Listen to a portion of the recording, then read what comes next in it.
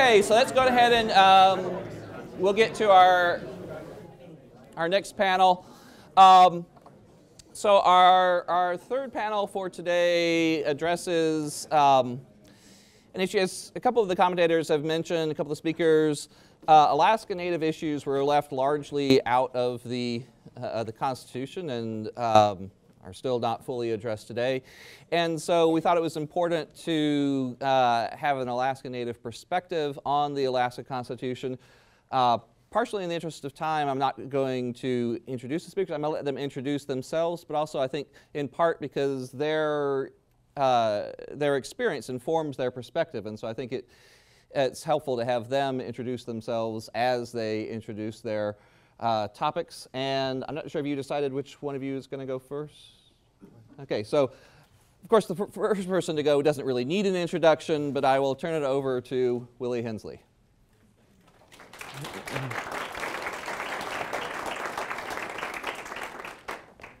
Thank you. Uh, I would like to thank the organizers of uh, this event uh, for including this section uh, in, the, in the discussion uh, on the Constitution.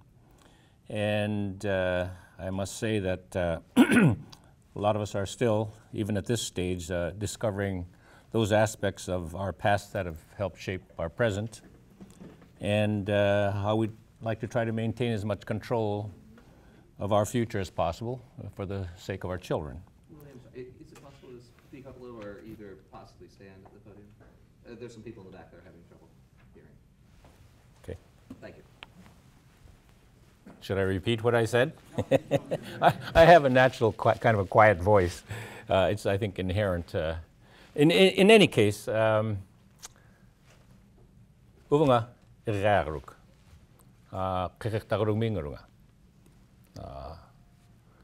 Ang yakat ka, non rarakasin, akpayuk. Uh, inyurukto nga uh, ikaturami asin kimek pagme. And aglagakto nga Tennessee me asin George Washington University me. And uh, I just wanted you to hear uh, our language, uh, one of our ancient American languages, uh, for a couple of reasons. Uh, one is the fact that I'm proud of the fact that in spite of the best work of the government, I still managed to maintain, you know, something of our traditional language because it was, a, of course, governmental policy to try to eliminate it, uh, as well as the churches that did a lot of their legwork for them in the early days of our educational system. And uh, also, uh, the, one of the other reasons is that uh, uh, it helps reflect, I think, the gap of understanding uh, that is the fact that we indigenous people who had occupied this space for over 10,000 years uh, were essentially in a twilight zone of, of the mentality of those who created the Constitution. Uh, I have looked at uh, some of the videos that uh, uh, where the participants of the Constitutional Convention were waxing on about that experience, and it was maybe in their lifetime a wonderful and a great experience, and, and it's true. Uh, but it in no way uh, reflected, you know, the total Alaska population. And of course, I, kn I know the participants, many of them. Uh, John Cross was representing Kotzebue, and John was a wonderful pilot. But in no way could he have been reflecting the Inupiat people of that region when it comes to our, our thinking and those issues that were important to us. Anyway, uh, and uh, many of us, even to this day, are just learning about the, our own histories. Because basically it was the job of the Bureau of Indian Affairs to make sure we didn't know who we were. Uh, and um, uh, we did not understand the ferocity of the, the first colonial period uh, on the people uh, of uh, Alaska, particularly uh, uh, in the Aleutian Island region, the Sugpiaq area of the Kodiak and the Gulf. And uh, the tremendous loss of life that took place, uh, this, the, essentially the destruction of a people through, through disease, through starvation, through enslavement. Um, and the people essentially were being utilized as labor to hunt the low-hanging fruit, the sea otter, for the Russians, literally, literally, all the way down to Catalina Island off the coast of California during that century and a quarter that uh, they were here.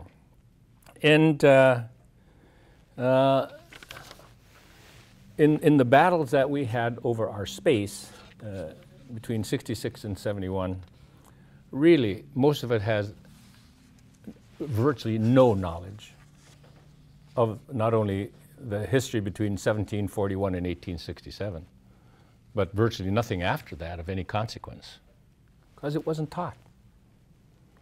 And, and so we are basically, uh, when we got into the battle over who owned Alaska, uh, we were really, really fighting with one hand behind our back because we were literally ignorant of that history that was so key to forming our arguments uh, before Congress. And uh, we did not know that there were less than 800 Russians in Alaska at any one time. I mean, something as simple as that.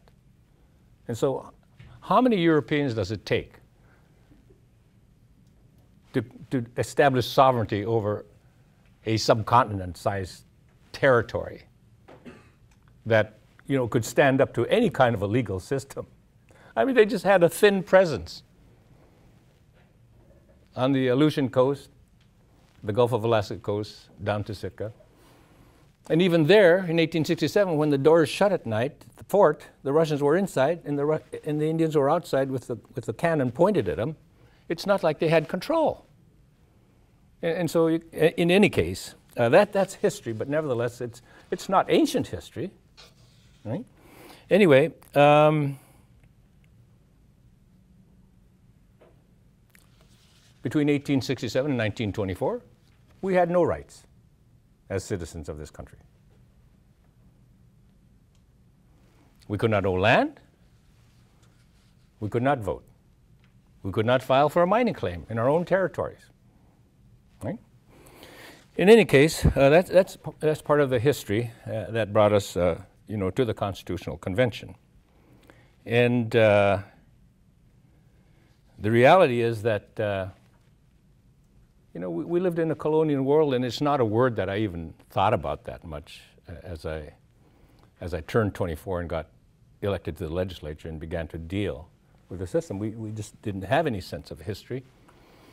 Um, and so um, we did not understand the nature of what was taking place in our past, starting with uh, Sheldon Jackson, uh, who was both paid as an agent of the Presbyterian Church and as a government official.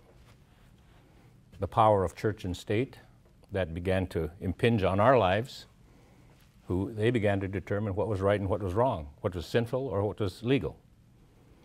And um, of course, his philosophy was we were to be learning English, and so that we could be fit for the social and industrial life of the white population and promote their not too distant assimilation.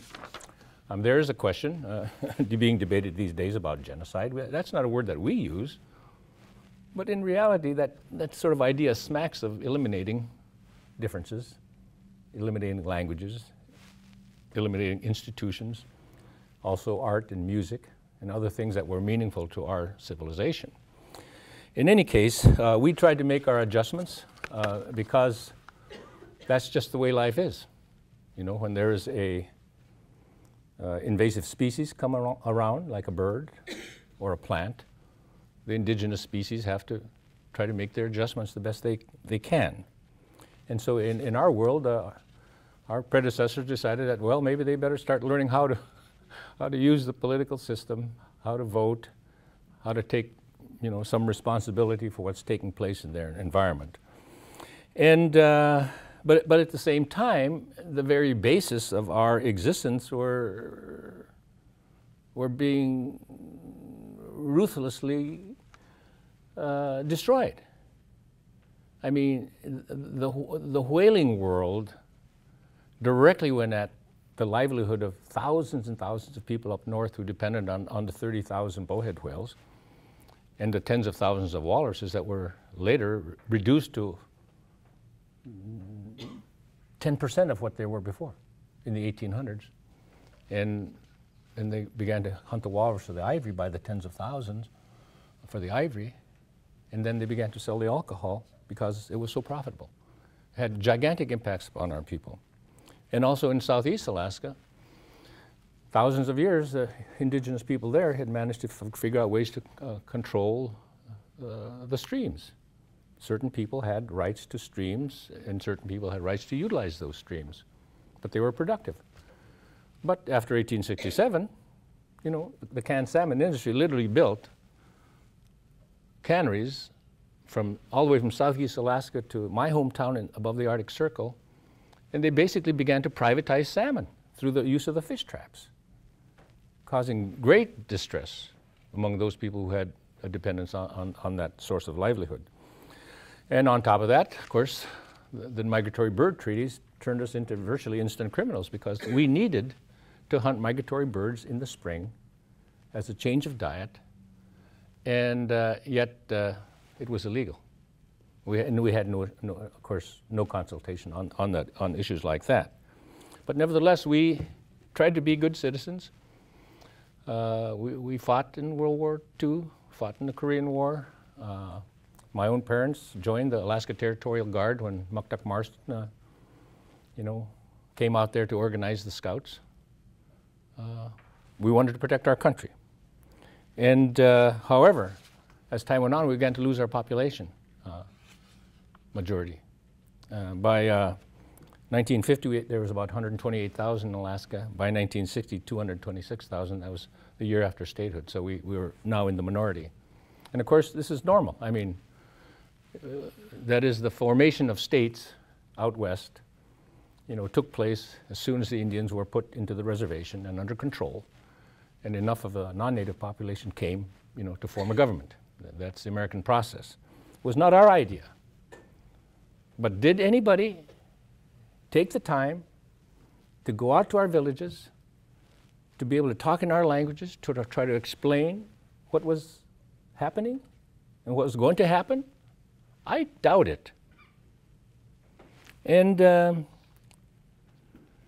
uh, the, tr the truth of the matter is that we weren't there at the Constitutional Convention. Sad to say, I, it was before my time. I have no idea why uh, our people didn't see the significance of the importance of the work that was being done with the Constitution. Because we had Native politicians, and the first Senate president was an Eskimo guy from uh, Haycock. Uh, I knew his family. Um, nevertheless, the issues that plague us today sort of have their roots in, in that document, the absence of concerns about land, about languages, about participating, participation in, the, in our educational system, uh, the, the, importance of fish and game to our lives. I mean, if there had just been a, a few phrases that would have given the jurist, you know, some direction on these issues, that would have been great. I mean, there's no recognition whatsoever, you know, of the, of the tribal governments that existed at the time. None. And, and, and let me give you an example of how uh, the Constitution affected my hometown. Before statehood, we had a tribal government there. As soon as the fourth class city, Title 29, came into effect, the non natives organized a city government, quickly took control, invited the, fish, the uh, BLM in to survey, didn't give us a real choice about whether it should be a general town site or a native town site. And before you know it, they bought up literally the entire spit on which Kotzebue is located for 50 cent, $50, $75, $100 a lot. Those lots are now 40 or $50,000 a lot. So we today have become squatters, you know, and renters because of what they did. I mean, I'll never forget challenging uh, a BLM, and next thing I knew, there was a plane load. Burton Silcock, the state director, came to Kotzebue. I was literally the only one standing there. Because our people didn't understand what had transpired. When I asked Edith Bullock, who used to be a board of regent, and I used to work for her, uh, she said, Oh, well, we decided that we're not going to charge the people who sit on the lot for the pro rata cost of that lot. Big deal. anyway, that's just an example. So I'm, I'm kind of going on and on, but uh, the reality was that uh, in those days, in, in 55, there were still elements of racism, sad to say. Uh, it was only 10 years before that they had uh, passed the Indian civil rights law that eliminated the, like the no dogs and, or natives allowed or natives only, uh, natives need not apply signs around the state. And uh, I've seen covenants in Rogers Park and uh, Turnagain where we were not allowed to buy you know, a lot uh, unless you were a servant. And, and so uh, when I got to Juneau, uh, the only thing we had for elders uh, was a pioneer home. Well, the pioneer home was, sadly, it was not for us. and when I, but I did fight to get some facility for our elders in Kotzebue, and I had to do it under the Pioneers Home, home uh, law because uh, that's the only thing we had going for elder, elderly people. And so, but the law said applicability to natives. Any Alaska Native receiving aid from the U.S. government is hereby ineligible. We couldn't get in the Pioneer Home. In any case, that was one example. And then I discovered that uh, what kept the organizations that discriminated on the basis of race uh, in business was a state liquor license. And so I thought, well, we, we shouldn't condone that. So I crafted a bill that would prevent the issuance of a liquor license that discriminated on the basis of race. It became a humongous issue. They called it the No Booze for Bigots bill. and it created just great consternation, you know. Uh, in, in the end, uh, they basically gutted it by saying, well, when the Supreme Court rules against it, we will comply. You know. But nevertheless, th this was the kind of uh, environment that we lived in. Uh, and, uh, and, and sad to say, uh, when it came to the unorganized borough, that is rural Alaska, I mean, the boroughs were ba basically for the urbanites, right? In the unorganized borough was all those 200 villages out there that were in this, in the legislature was to sit as, the, as a, a borough assembly for the unorganized borough. Well, the reality is we, we did not even have in there any kind of mechanism for regional planning, right? That could have been very useful uh, for us. Um, so uh, that's just some of the history. I um, won't go into you know other details, but uh, the good news is that this is America.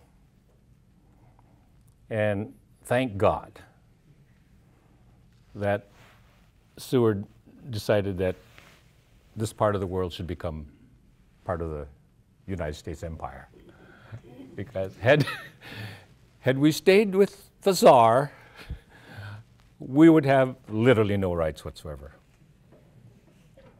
Our land rights would be about as deep as the reindeer could chew there would be nothing like what we have today insofar as uh, our land settlement is concerned that Richard Nixon, bless his soul, helped us get. But the reality was we had to fight the miners and the businessmen and the forest people, almost everybody, who didn't believe that we had the ability and the, and, and the, and the sense uh, to manage our own affairs. Bob Atwood fought us tooth and tongue, starting way back in the 40s over, over reservations. Never believed that we would be able to help develop Alaska.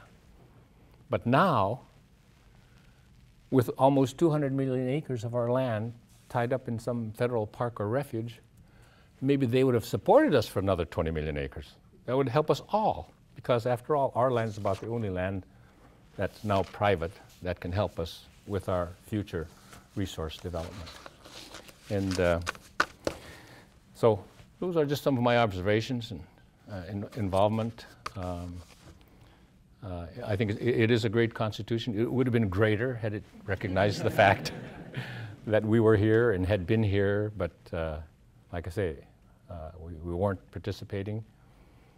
Uh, with, with one out of 55, our thoughts, our values, our history, our issues, many more simply not reflected uh, in that document. Thank you.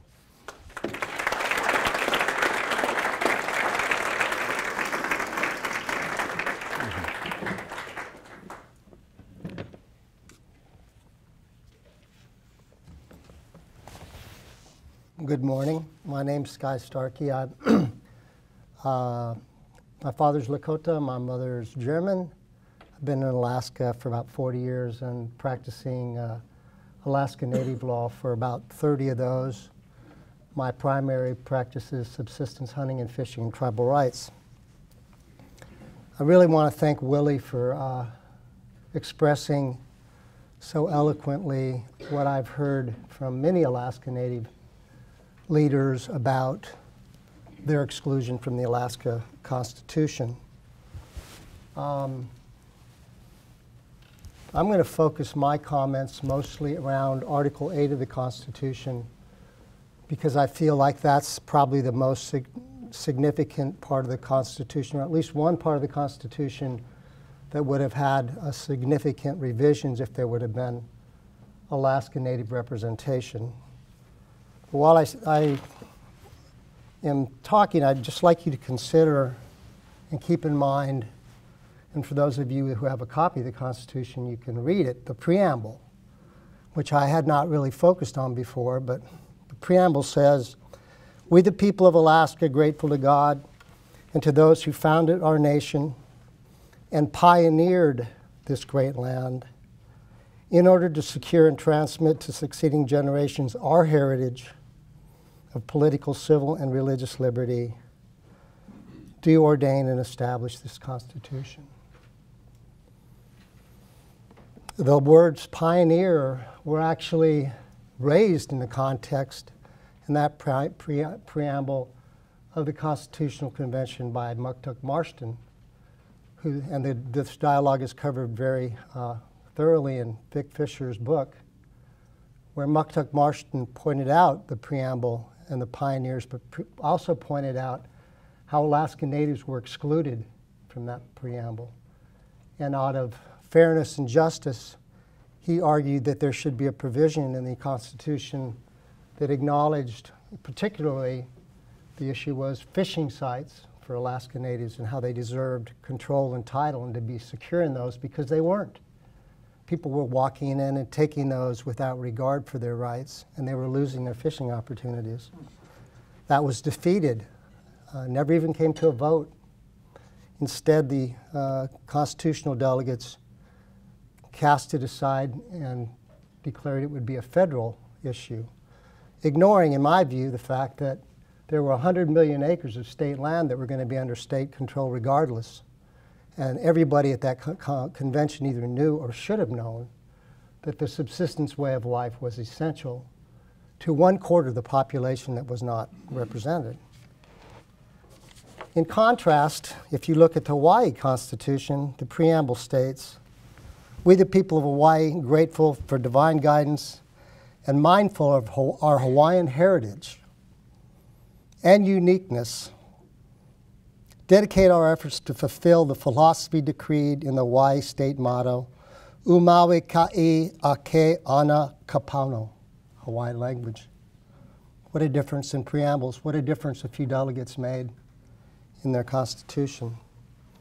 Article 8 uh, is the part of the Constitution that defines uh, the use of natural resources for the state. It was, again, uh, Vic Fisher's book does an excellent job of laying out the debate, but honestly, as I look at Article 8 in the Constitution, one of the prime motivations of the people that wanted statehood was the development of natural resources and to be in control of that without the federal government doing so including fishing, but mining was also huge. And if you look at Article 8, there are specific provisions about mining. Again, uh, if you look at Article 8, you'll see there are the policy in Article 8 um, is uh, basically uh, to uh, has to do with the, de- the development of uh, resources consistent with beneficial uses. There's the common use clause, which has been interpreted for public trust doctrine, but um, there's nothing about uh, subsistence hunting and fishing in there. To the contrary, what is in Article 8 are in, the enshrinement of equal protection to ensure that uh, natural resources, uh, there's no special privilege for, for natural resources. Um, again, if one looks at the Hawaii Constitution in contrast, they have a Section 7 in their Constitution which says the state reaffirms and shall protect all rights customary and traditionally exercised for subsistence, culture, and religious purposes and possessed by the native Hawaiian tenants. So again, uh, Article 8, I suggest you, would have been significantly different with Alaska Native participation, and it was um, intentionally not included and, and, left to the federal government. In the Statehood Act, the disclaimer, which uh, has actually not, not ever been used, uh, as in my knowledge, uh, by uh, the Alaska state courts to protect any kind of subsistence or native hunting fishing rights that have to do with state jurisdiction, state lands. This becomes even more important in Alaska than other places. Lower 48 tribes, as we know, have reservations. They have Indian country. They have self determination. They have places where they can protect their culture and their hunting and fishing and their resources. In Alaska, as we know, the prevailing thought is that the state of Alaska gets to manage even native lands. I disagree with that. I think there's another theory behind that. That's for another day.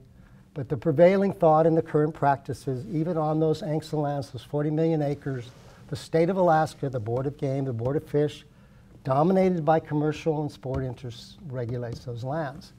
So Article 8 becomes even more important than in other states that actually uh, have, um, where, where Native Americans have some, some control over their lives. Um, just in terms of a question, so what would happen now if the Alaska Supreme Court uh, took into consideration when it looks at these issues the fact that the Alaska Natives were excluded, a quarter of the population? The Alaska Supreme Court does look at historical factors, the, the, context, the historical context of uh, the amendments when, or the Constitution when it was enacted.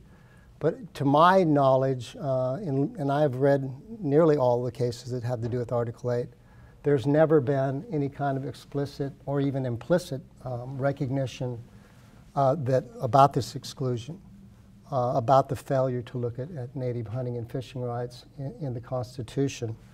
Um, the, uh, the, if you look at the, the way Article 8's been interpreted, uh, or the Constitution in general, there are a couple of places in, and I'm only speaking about constitutional cases where the Alaska Supreme Court has actually acknowledged uh, the historical and con continuing context of the importance of subsistence hunting and fishing, not only as to nutritional and economic values, but culturally. And one of those was uh, in the, um, uh, the Frank v. State case, which enshrined under the First Amendment of religious freedoms uh, the right to uh, take moose for potlatches. And there they very much uh, relied on the cultural practice and the need to do that and, and as a religious freedom. But again, that wasn't an Article 8 uh, case. And then in the Alvarado case, the, the, which secured the right uh, for Alaska Natives to be chured, uh, to be have Native people and village people on juries, they again looked at the cultural differences between Native villages and urban areas and hunting and fishing practices. But again, this was a due process sort of claim. But in the Article 8 context, um, and in hunting and fishing in general, it's very interesting uh, to me anyway to look at the early cases that came out in the 70s when I think the jurists were a little bit closer to the Constitution and the delegates. And in those early, in those 70 cases, uh, the Van- Tanana Valley Sportsman versus State, for example, in 78, the Supreme, the Supreme Court recognized very explicitly in a footnote the continued importance for the culture uh, and the well-being of native villages to have opportunities to hunt and fish on their lands and use their resources. Um, but then in the 80s, and, and particularly in the mid and late 80s and the early 90s and through the 90s, out the 90s, the courts started to look at Article 8 and the tension between the rights of Alaskan Natives to continue their way of life and equal protection, as viewed the, by those courts, started to really surface. And then you saw the McDowell case throughout the, the, uh, the, the rural priority, uh, and uh, equal protection became the drive. It was no longer the court recognizing how important subsistence uses were necessarily and needing to make accommodations for that. The drive became equal protection uh, and not and, uh, and, and a, really a great concern for actually uh, urban uh, residents' access to subsistence. Um, the worst case, in my, my opinion, is really not McDowell. Uh, the worst case is, I think, uh, the worst case on the record is the Kenaitze case in 1995. In this case, uh, the uh, court not only found that rural, uh, not being rural was not good, but that even when the resources become incredibly short and nobody but subsistence users can use them, the priority, that um, uh, you couldn't weigh the proximity to the resource, the how close the resource was to the user. You couldn't even weigh that. That would be a violation of equal protection. Very, uh, in my view, a very uh, superficial analysis that followed straight along McDowell, that it was residency based. And it was an equal protection analysis, and there was very little weighing uh, of how compelling the subsistence interest was and, and the fit. Also in the Kenaitze decision, and probably even worse in my view, uh, the court found that it was not a violation of equal protection to deny the Kenaitze Indian tribe, whose, you know, the Kenai River, the peninsula, everybody's named after them. It's been their homeland, was their homeland land forever. It wasn't their fault that a lot of people moved around them. Didn't mean that they necessarily changed their way of life. But uh, the court found that it was not a violation of equal protection to deny them the right to hunt in their traditional territory, even though other tribes everywhere else in the state had that right because they were not declared non subsistence users by the legislature. Absolutely no analysis about the cultural importance of it, the historical context of the Constitution, just simply that there is no right to have a convenient access to subsistence resources, failing to acknowledge that uh, subsistence uses by Alaskan Natives are very closely tied to their traditional territory.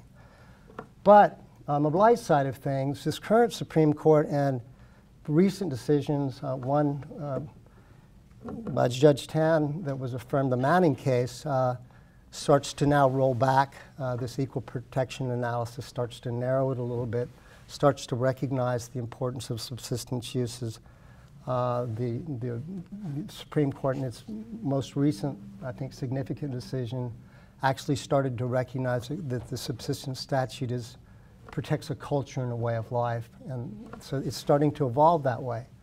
But to this day, and even in those cases, there's no acknowledgement about uh, the, the failure of the, the Constitution to, to look at this. There's no historical uh, context. And I think that might be the fault of perhaps lawyers uh, not making these arguments to the Supreme Court and, and raising them in this context. And this has been the enlightenment for me uh, in, in, in looking at, at how to make this presentation. I thank the Duke Law Review and Ryan and others for uh, allowing to us to do this.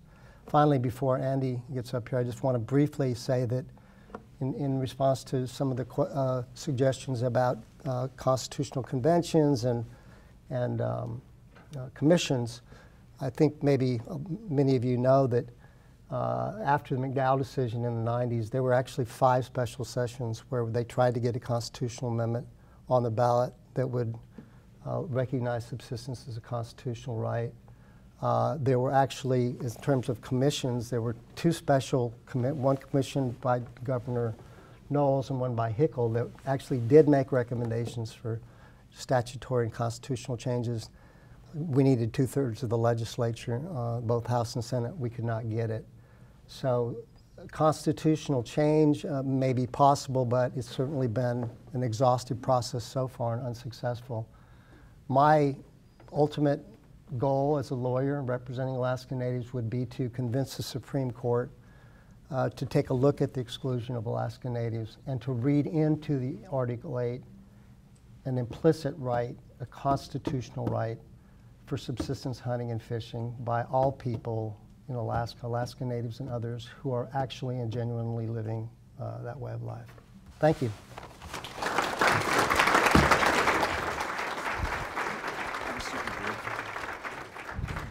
Thank you. My name is Andy Erickson, and I've been working with Willie and Sky. I'm really grateful for their expertise. And, and my role in this is trying to figure out how to do that, how to look forward and make the argument to the Alaska courts to bring back traditional and cultural history and context to the interpretation of Article 8.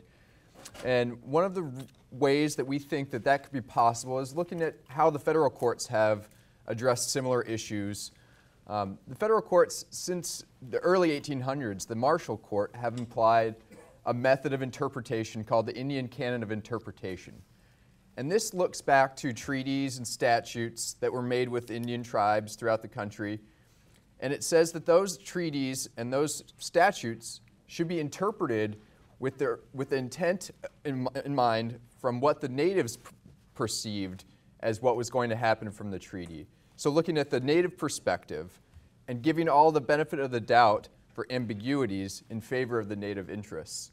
And we think this is one, one way to analogize to a Supreme Court interpretation in Alaska that says that Article 8 should be interpreted in light of the context and the traditional and cultural history of Alaska Natives and bringing that in to the interpretation, recognizing that, that those subsistence uses are what natives would have believed the Constitution was protecting. I think that it can be said that no, none of the Alaskan natives at the time would have thought or approved of a Constitution that takes away those rights, their way of life. And so putting that back in and having Alaska courts recognize that, making the argument, is, is something that I think is going to be very important going forward. So, thank you.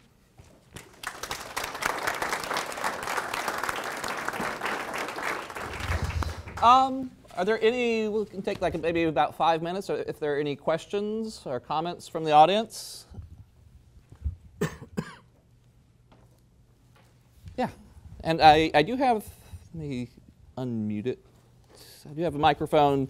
Now, this doesn't amplify. Uh, people have been asking me if this amplifies. Unfortunately, this is just for the recording purposes, but. I was just curious if any of you have thoughts about the recent decision out of the Fifth Circuit uh, that the Indian Child Welfare Act is not constitutional. How long do we have? Yes.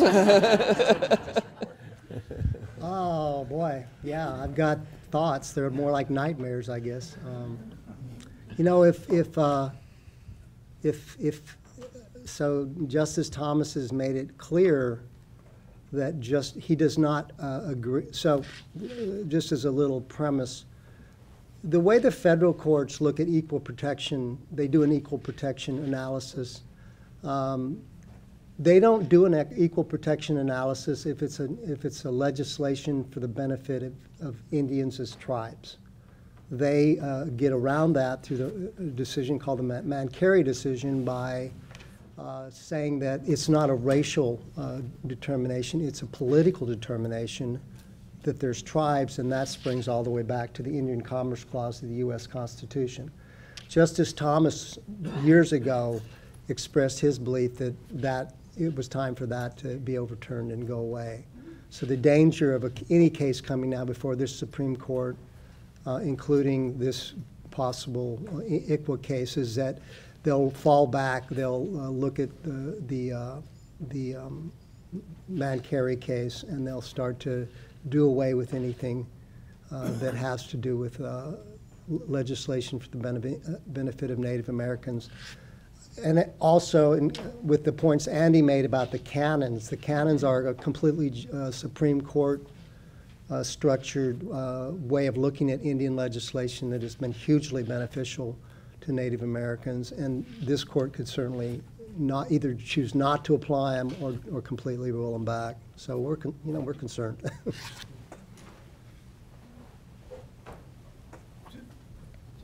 Just a question for Willie. Um, Do you, do, you- were there in fact any uh, Native people who ran for delegate and did not win? Or was that so uh, foreign to them that they, You know. if you know? That, that actually is a mystery to me.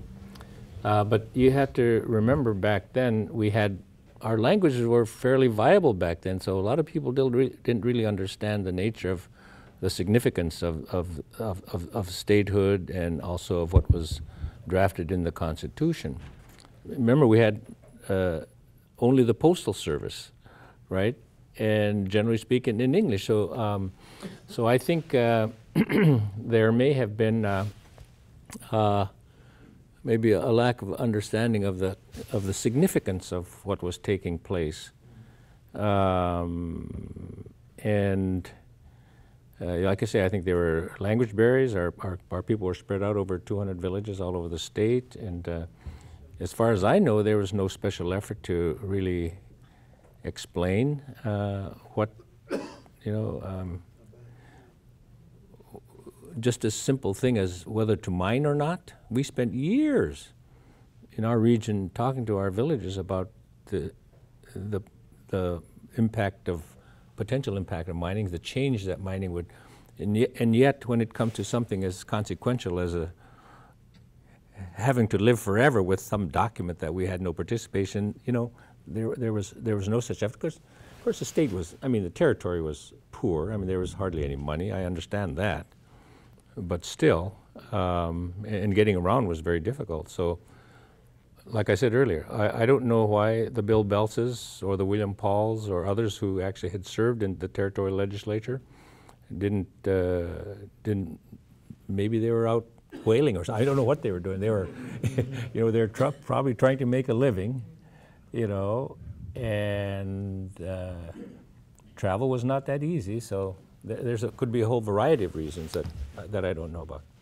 Like for, for you scholars out there, I mean, you younger ones, I mean, it's a great great area to take a look at because, you know, we got into the battle from the get-go. We had no chance to try to go back in history. We, we just had to deal with the issues that were at hand. You know, uh, starting starting in the '60s because uh, our land was being stolen uh, by the new state and uh, in, in, the, in the one semester I thought as a lawyer, I realized that you know the moment the Secretary of Interior signed a interim interim conveyance under the Statehood Act, that we were never going to get that land back. That that was an extinguishment of Aboriginal title, and that that was my aha. Trying to think like a lawyer. The, the, the, the good the good news is that the Congress uh, did not outright extinguish our underlying title. That would have solved all the problem because we would have had no rights. But the, but the reality is, under the law, you know, uh, Indian title had some substance to it, and its, and its, and its extinguishment was compensable. Uh, the, the, prob- the problem was it was compensable like one cent, you know, uh, on the dollar, uh, and it took forever, you know, to go through the court of claims, everything. things. So, so we, we really did turn around U.S. history, 200 year history. All of a sudden, they were conveying land, but uh, so when uh, people talk about two cents an acre, well, not exactly. You have to throw in the value of 44 million acres plus about a billion dollars, you know, to that price. Well, I, I can give a direct answer. About 10 years ago, I looked at the issue, and uh, as I remember, I have it written down, but as I remember now, there were about eight or nine natives who ran for the Constitutional Convention. There were four in Southeast running at large in the whole Southeast region. Um, um, Frank Peratrovich was elected. Oh, there were eight, I think, eight members, eh, eight natives in the territorial legislature at the time. Um, and I think seven, seven people, natives ran for the Constitutional Convention, four at large in Southeast. Uh, Frank Peratrovich was elected. He was a territorial senator at the time. Uh, he had been elected at large. Andrew Hope of Sitka was within a limited number of votes uh, from being elected at large. And then there were two others, I can't remember their names. There were three people, three natives who ran in the Nome, the Western District, and uh, um, uh, they there were local seats as well as a regional seat, and the three of them ran f- for the regional seat, and none of them were elected. Uh, they could, they got enough votes. A couple of them could have been elected at the local level. Um, that was about it. At the time, uh, to many Alaska Natives, and I had worked in rural Alaska before the Constitutional Convention, and people were generally not connected to this ethereal concept of a constitution for a future state. Uh, most natives lived in small, isolated communities. Uh, Kotzebue, as you know, was a good example. And John Cross, who was a very popular uh, pilot who flew between villages in the Kotzebue area, he was seen as their representative. Uh, he, he was married to uh, an Inupiat woman and had a big family, and they were at the Constitutional Convention much of the time. But uh, they, they saw John Cross as their representative because the convention was not really relevant to most of life in rural Alaska. They didn't think. Sounds like it Willie, turned out to be negatively relevant. Willie came later. Well, and I know that there are other people who may have comments. I do want to give people uh, the opportunity to get lunch. We'll break for about 10, 15 minutes, then we'll come back with our lunch presentations. But uh, first of all, thank you very much for our wonderful presenters.